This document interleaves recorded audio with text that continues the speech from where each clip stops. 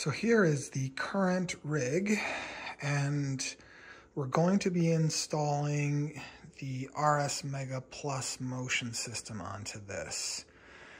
As of now, as you can see, it's very close to the wall.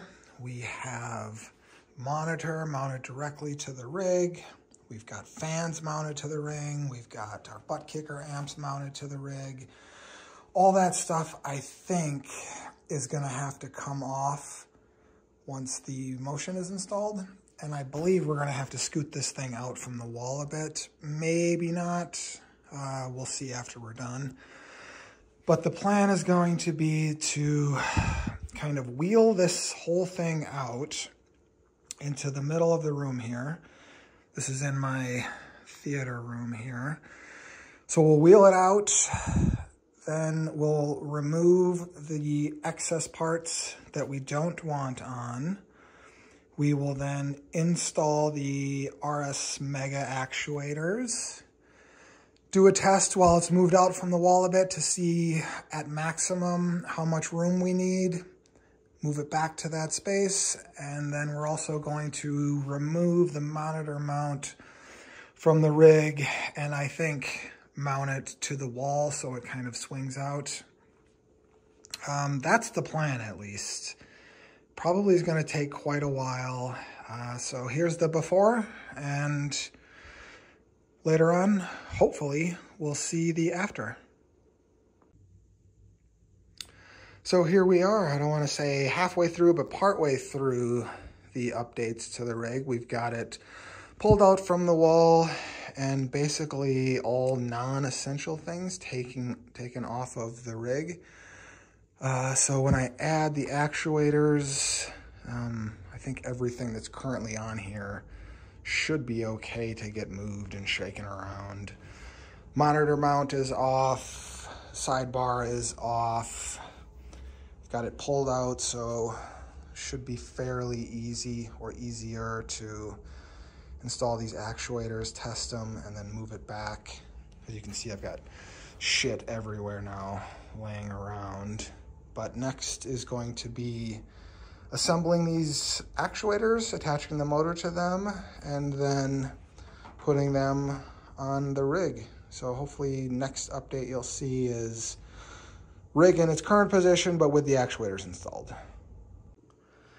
So we have our first actuator and motor mounted. Uh, it's not completely tightened in. I'm going to move the position, slide it around later. Wanted to give kind of a PSA for anyone thinking of doing this on their own. This one is now attached, but very loosely attached. I got these knowing how heavy the rig was just to get wheels, these wheels here underneath it so I could slide it out to do this install. But it turns out these are very helpful when installing these. These are heavy, the rig is heavy.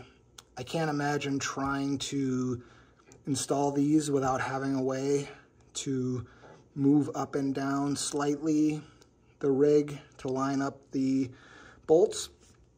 So if you're gonna think about doing this yourself, uh, you should have some way of raising, lowering the rig so that you can do these minor adjustments. These, like I said, I got them for the wheels. They turned out more helpful for this. So if you're interested, I got them off Amazon. I think they were cheap, maybe 15 bucks a piece or something. So again, it's a pain in the ass, but uh, we have got two of them attached, two more to go. Then I'll worry about leveling it and placing them precisely. But wanted to let you know about these guys in case you're thinking of doing it. Here we have the completed rig now with the RS Mega Plus actuators attached. Four, of course, one on each corner. Everything except for the bare minimum has been removed from the rig. I have the monitor now mounted on the wall. I built this keyboard tray out of spare aluminum parts.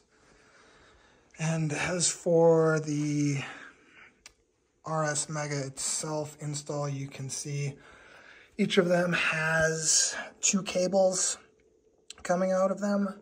I somewhat tried to manage the cables, but it just got to be so much that you can see it looks like a snake pit down here. I'll give you a little demo quickly to show that it's actually working. Turn it on here. We have the four servos, we have the Thanos controller, and you see here we're going up, left, right,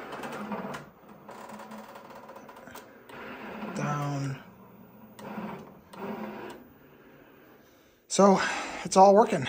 Um, with VR, I had to use motion compensation to minimize some of the VR sickness.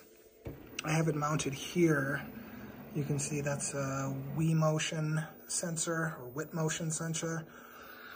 Um, I'm still working on that. Right now, I can't have the motion turned up too high before I start getting sick. But it's not nothing. It's You can see in the last race video I posted where I have the settings. If you want a more detailed video on the configuration of the RS Mega, let me know. Um, for now, that should complete the installation, setup, and quick demo. Thanks for watching.